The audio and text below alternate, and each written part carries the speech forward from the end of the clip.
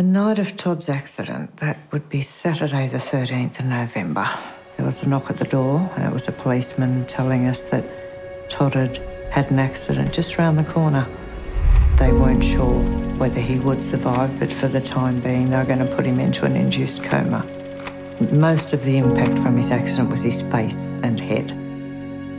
I, I don't really think even then we realised the severity of it. Brain injury is really not something you know anything about. You just assume that sooner or later he's going to get better. It's uh, nothing like that, unfortunately. I'm thinking, well, what if I do something wrong or if I'm not watching and he wanders off somewhere because his memory span is about five minutes.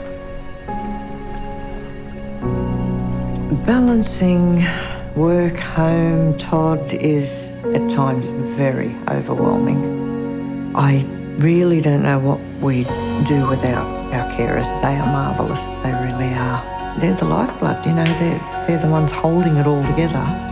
They just ask him what he'd like to do during the day, and, and that's what they do. Lifetime Care and Support is a wonderful, wonderful scheme.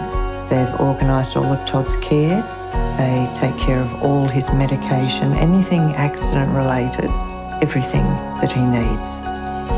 I look at the progress Todd has made over the last seven years like it's amazing. That, uh, yeah, he could have stayed in a vegetative state, but I think he amazed everybody.